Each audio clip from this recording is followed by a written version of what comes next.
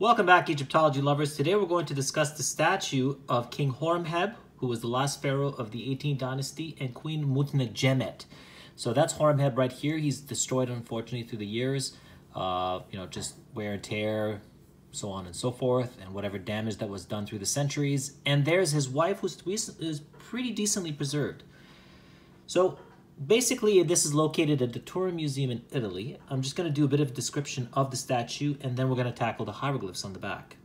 Playing the role of Hathor, protecting the sun god, Queen Mutnejeb, so Mutnebjemet, embraces her husband, Horemheb. Now, despite its high quality, the statue remained unfinished. Several details are missing, including the stripes of the royal kilt, so the, where the kilts are, the stripes that go there, they're missing the carvings and Nemes headdress. So that's broken off as well. The wings of the vultures in the queen's headdress, right over here, and the lower part of the bound enemies depicted on one side of the throne, which is not seen here. On the back of the statue, a long inscription records the coronation of Horemheb, who was a general of Tutankhamun before ascending the throne. So here is the translation, which I've done already. I've divided the text. It goes from right to left and it works all the way down. So this is his coronation. This is when he became pharaoh. And Horemheb was very well known for being a commoner. This statue weighs uh, measures about 139 by 86 by 92 centimeters. It is made of very hard stone called granodiorite. It dates to about 1319 to 1292 BC. This is New Kingdom, 18th dynasty, it was located at Thebes and Karnak at the Temple of Amun. And that's that. So we're going to go ahead now and tackle the, uh, the hieroglyphs on the back over here. I'm going to expand on that. We're going to adjust the camera so it fits it perfectly right there. And there it is. And what we're going to do is zoom in. So we're not going to just do it from here. We'll zoom in and we'll do the division of the text, which I've done, and we're going to go ahead and read it. Stay tuned. All right, so now we're going to do the translation of the stela. It's going to start right over here on the right side, and it's going to move towards the left. So what's broken off, we're not going to read. You might hear the sentence be a little choppy. So over here it says, satisfied with truth. Now this is uh, one of the titles for the two sisters, which is broken off. So this entire section would have the five royal titles. So it's satisfied with truth, fostering the two lands. Then we get the king of Upper and Lower Egypt, the lord of the two lands, and then we get the royal name of the pharaoh throne name, which is Jeser Keperure Setep Enre, which means my sacred are the manifestations of Ra, chosen of Ra. Then we get the personal name, which is the son of Re, Sare, Lord of appearances, and then this is Horemheb's personal name, which is Hor en Emheb, so Horus is in festival beloved of Amun. And then we come over to here, which continues uh, with extra titles that says Horus, Lord of the Divine Palace, or Hennes, and that's broken off over there. All right, now we're going to go over to the second row. It says here, now this is kind of broken, so we'll just move over to what we can read. Amun, king of the gods, that nursed him, so nursed him, Horus, son of Isis. His guardianship was a talisman of his flesh. Having gone forth, he going forth, so this is past tense here, he going forth from the body and clad in majesty, the aspect of the God upon him. And then here it says, he made, and the rest is broken off. Continuing over here now, it says, bowed unto him the arm of youth kissing the ground by the tall, or being the great, and the small, attended to him the food of abundance, while a child with none of his understanding. On the fourth line now, the courtiers of the entire people, the form of a god being his aspect, so these two are together, aspect, in the sight of him who beheld the image or his image of dread, dread or fear. So his image of dread. His father Horus, he placed him behind him, creating him for making his protection from one generation upon another. Okay, now going down to the fifth line, it says, For he knew the day of his pleasure for giving to him his kingship. Lo, this God, upon it distinguishing his son by or in before the land of the people. He desired to enlarge his gate until should come the day for his receiving of office or his office. His causing, going down to the sixth now, and his time. Now that's broken off, so we just have his time. And the heart of the king, or the heart of the king, being content with his dealings and rejoicing at his choice. He set him to be supreme chief upon the land in order to steer the laws of the two lands as hereditary prince of this entire land. He was unique without his second, so no equal. The plans, which we assume is his plans, but if we go down to the next row, is broken off. This here is the word people, but it's broken off. And it continues as upon the utterance of his mouth. So if Horemheb spoke, then the utterance of his mouth pleased the people. And he, being summoned at the presence of the sovereign of the palace, falling into rage when he opened his mouth. And he answered, which goes over here, answered the king and appeased, or he appeased him with the utterance, goes over here, utterance of his mouth. Alone, efficient, and without, and the rest is broken off down here, without. We'll continue here all his plans, so his plans were at the gate of the ibis or Jehuti. And his conduct in the form of the Lord of Hasret or Hasro, rejoicing at truth like the beaky one, or in this case, is referring to Thoth, delighting over her like Ta when he awoke in the morning, that he might make presentation underneath her.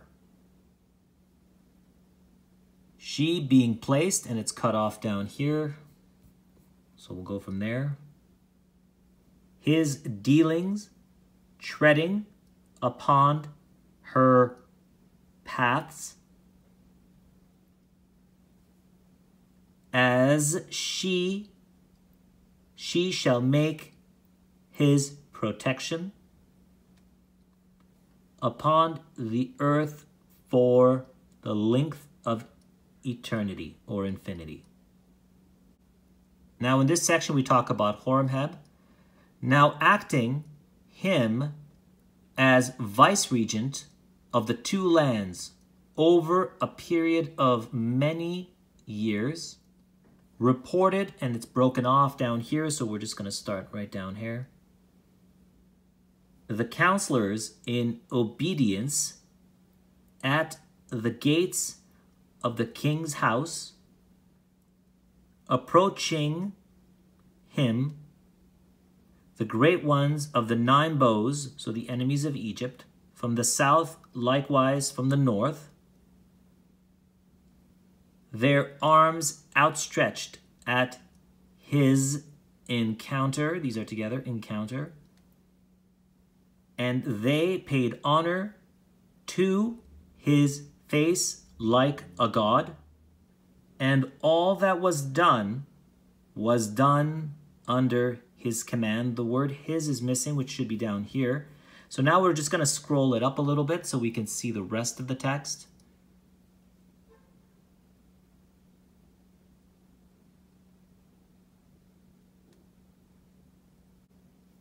his tread, his majesty being great in the sight of the people, one praying for him the prosperity and health, and he is assuredly the father of the two regions or the two lands.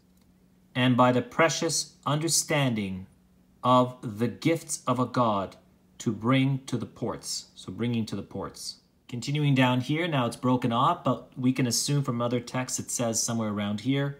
Now when many days had passed of these, the eldest son of Horus, being supreme or being supreme chief as hereditary prince of this entire land, and behold, or lo, this noble god, Horus of Hennes, or the king's palace, his heart desired to establish his son upon his eternal throne. And he commanded, the word he is missing, which comes down here. So we're missing some text here, but we can proceed from here now with the word Amun over here or the name of Amun. And then proceeded Horus for rejoicing or amid rejoicing to Thebes or the city of Waset, which is the city of the Lord of eternity, his son in his embrace to Ipetsut, which is referring to Karnak, for in order to induct him in the presence of Amun, and for handing over for him his office of kingship, and for making of this period. Now we get the text O or Lo, and it's an interjection, like basically O Lord or so on and so forth. And then we're going to proceed to the next line down here, which is broken in his beautiful festival, which is foremost of Ipet Resut. This is now Luxor, so they moved on to Luxor. Then seeing by him the majesty of this God who is Horus, Lord of Chenes, or the Lord of the temple of the king, or the divine temple his son with him in the king's induction. So, induction to being a king, in order to give to him his office of his throne. And lo, or behold, Amun Ra rejoiced in jubilation or gladness when he saw, now we go down here, it's a little broken off. on the day of him making his submission or submission, then he betook himself to this noble hereditary prince and chieftain, so, amidst or among the two lands. And then we have the name of Horemheb, which is now not a king yet, but just a common person, and he's put his name in a royal cartouche. So it's Hor-em-heb. So this means Horus is in festival, and this is a determinative referring to him as just a person. Then he proceeded to the king's house. Then he placed him before or in front of it to the perwer, which means the great house. This goes all together, the great house. Of his noble daughter, which is great. Great. Now, great of magic is what we know it is, but it's broken off right over here. So this refers to Isis. In welcoming, so in welcoming attitude, so the, this is uh, the word for welcoming. And she embraced his beauty and established herself on his forehead with the gods of the Ennead, or the nine gods, and the lords of Per Neser were in exaltation of his rising. And now we're going to name the gods who were there in the presence, which is Nekhbet and Wadjet, the uh, protectresses of Upper and Lower Egypt, the vulture and the cobra. Neith, the ancient goddess of war. Isis, Nephthys, Horus, and Seth. As you can see, Osiris is missing because he is the god of the underworld. The entire Ennead, so the entire nine gods as well, or other gods, presided before or in front of the great seat. The great seat meaning the seat of the throne of the king. We're just going to move this over so we can get most of the text. Gonna squeeze it down a little bit so it's in frame like that. All right, now going down here, which is broken off, but we have here thankful clamor, I guess. Thankful clamor to the height of the sky and rejoicing at the contentment of Amun. Behold, lo, Amun has come and his son is in front, these two are together, in front of him to the palace in order to establish his crown upon his, so upon his head, in order to prolong his period like himself. We have gathered to establish, this is together, establish we of him, and going down here now, to assign to him the insignia of Re. So we pay honor, that goes with this, honor, to Amun on his account. You have brought to us our Savior give to him the jubilees or the festivals of Re and the years of Horus as king, being the one which he will do that your heart will please. Within Ipet Sut, which is Karnak, and likewise in Iunu, which is Heliopolis, and Ukapta, which is Memphis. For being the one, he will enrich them. Now we're going to go down to the next line down here. We're going to start right here. Now there was made a great name. So this is very interesting. You have a cartouche here, meaning that the great referring to the divine name of a royal king. They put a cartouche with the word name. So they've combined it to say that the pharaoh will inevitably be inaugurated as a king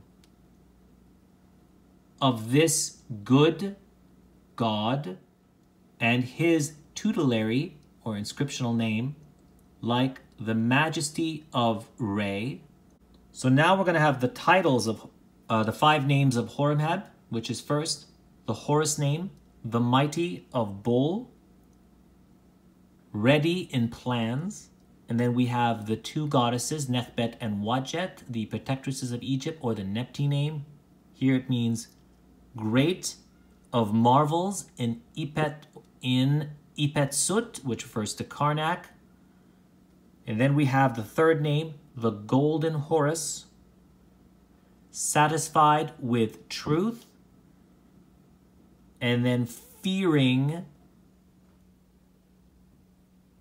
or excuse me, fostering the two lands. And then we get the two last names of a pharaoh, which we see very commonly, the king of Upper and Lower Egypt, the Nusut Biti, and then his throne name, which will be Jeser Keperure Setep Enre, which means is the sacred are the manifestations of Ra, chosen of Ra, and then the final name is the son of Re, which is Horem or Hor En Heb, which means Horus is in festival, and then Mariamun, beloved of Amun, and then the final one is given life. Continuing here, going forth behind, continuing down here in the next row of the day in the king's house by the majesty of this noble god Amun, who is king of the gods. His son in front of him, referring to Horemheb, he embraces his beauty and being risen in the Khepresh crown. The Khepresh crown is known as the blue crown or the war crown. Handing over to him, which the sun disk encircles, the nine bows being under his feet. So these are together here, feet. And the sky being in festival and the earth being under joy or with joy, as well as the Ennead or the nine gods, the Pesedjet of Tamari. Now, this is a third type of name of ancient Egypt. Uh, this means the beautiful land. And their hearts were glad or happy. All right, continuing down here.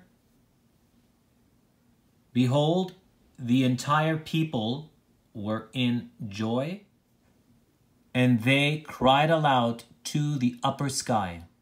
The great and the small, they seized upon gladness, and the entire or the whole earth rejoiced. Now, when being ended this festival, which is foremost of Ipet Resut, which refers to uh, Luxor, Ipet Resut, and Amun, king of the gods, having returned in peace to, going back here, Thebes or Waset, while faring upstream by his majesty, and then faring downstream with the statue of Horakhty, and lo, him ordering or making order he set forth of this land, this land, and setting it so setting it himself in the manner or the like of Re. He renewed the temples of the gods and the marshes of the delta to Tasseti, so from the delta to Tasseti, which is in the south. And he fashioned their images, but down here, if you go to the next row, it says all their images, which we go back to the top line. So it's all their images, distinguished above the originals, and surpassing in beauty in what he did before them, and Re rejoiced when he saw them, and found ruined in former times.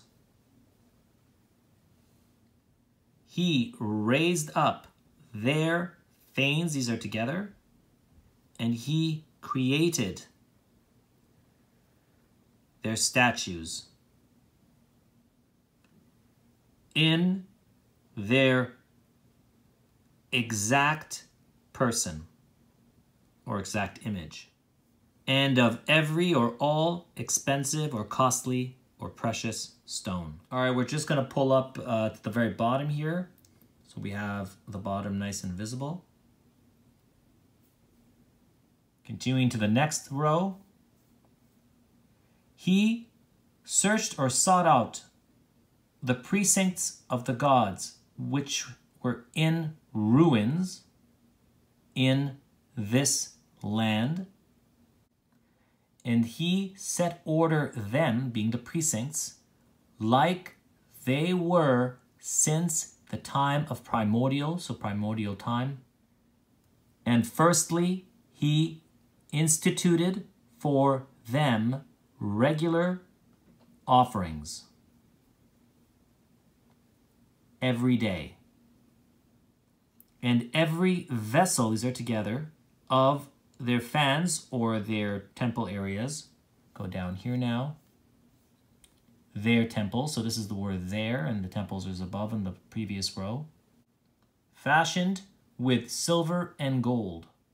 And he equipped them with the purifying priests and the lector priests who do the reading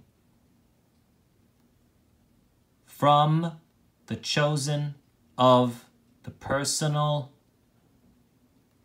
army. He opened up for them fields and herds or cattle and equipped with all services. And they, raising up early, referring to the uh, army, to pay honor to Re in the beginning of the morning. And that comes down here, which is the continuation of morning every day. Now the people speak, may you lengthen for us the kingship of your son who does what pleases or makes glad in your heart. Then we have the name or the throne name of the Pharaoh, which is Jeser Keperure Setep Enre, which is sacred are the manifestations of Ra, chosen of Ra. And may you give to him millions in or of festivals or jubilations, and may you give his victories all over the land or over all the lands, like Horus, the son of Isis, even when he propitiates your heart in Iunu or Heliopolis, and may join you your Ennead, or the nine gods of the Ennead. All right, that is the end of this Stela. Thank you very much for watching. I hope you enjoy. If you have any questions, don't hesitate to ask. Uh, leave in the questions or comments, but this is the Stela of Horemheb of the uh, late 18th dynasty, and this is his coronation stela, like I did for the establishing coronation of Tutankhamun before. Thank you very much for watching. Please like and subscribe and share as well, and let your friends know. Take care.